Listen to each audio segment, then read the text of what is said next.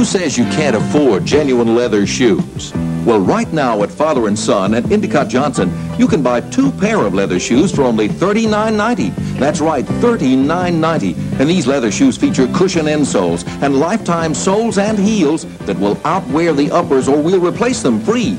At these prices, you'll want several pair of these genuine leather shoes with lifetime soles and heels. On sale at Father and Son and Endicott Johnson today.